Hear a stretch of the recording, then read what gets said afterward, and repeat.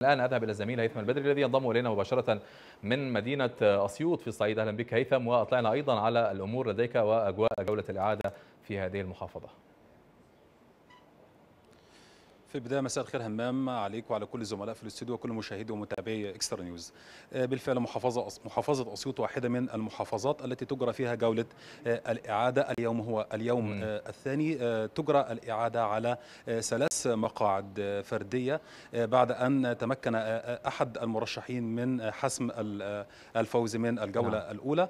أيضا كانت شهدت محافظة أسيوط وفاة أحد المرشحين الذي كان قد فاز ودخل إلى الجولة الثانية وجولة الإعادة ولكن قامت اللجنة العليا بتصعيد أحد المرشحين الخاسرين ليتنافس ست مرشحين على هذه المقاعد الثلاث.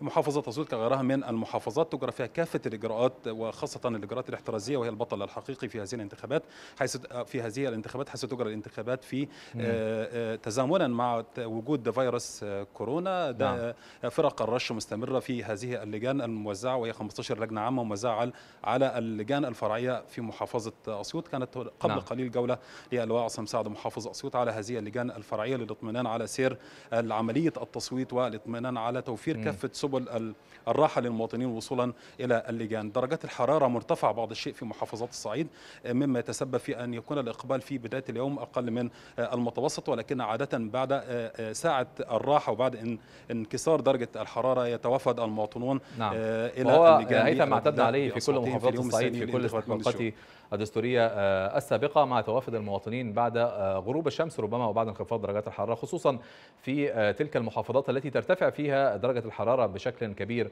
طوال اليوم. على أي حال الزميل هيثم البدري أيضا من أسيوط شكرا جزيلا لك على كل هذه التفاصيل.